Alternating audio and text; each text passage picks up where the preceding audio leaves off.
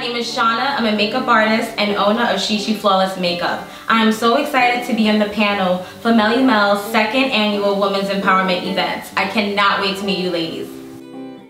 I create flawless faces for all occasions, including bridal, birthday, prom, and photo shoots.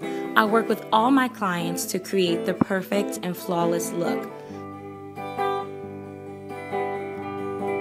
Empowerment to me means a sisterhood, women coming together and supporting one another. In today's society, us being females, we have so many obstacles up against us. Ladies, let's support, let's inspire. I look forward to meeting you. We're gonna make it to the top.